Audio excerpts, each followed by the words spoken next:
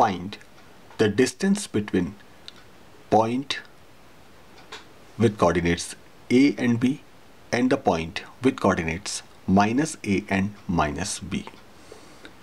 So let us assume these given points in this question are point P with coordinates a and b and the point Q with coordinates minus a and minus b and we are to find distance between these two points.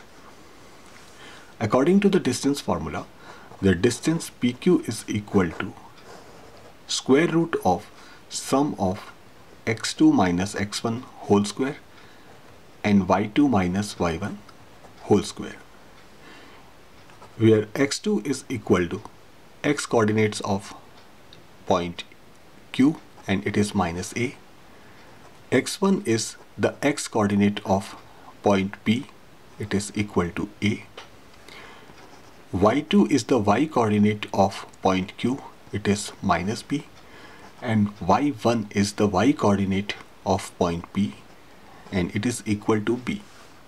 So after substituting these values in the formula, we will get PQ is equal to square root of sum of x2 minus x1 whole square. So it is minus a minus a whole square and y2 minus y1 whole square is minus b minus b whole square.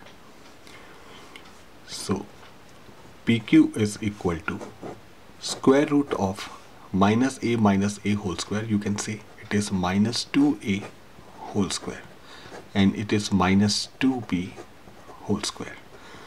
So you can write it as square root of 4a square plus 4b square. Further you can simplify it. PQ is equal to square root of 4 multiplied by sum of a square and b square.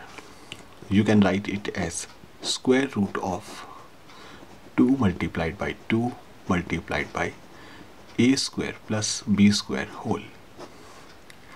Okay, so PQ is equal to 2 multiplied by square root of a square plus b square.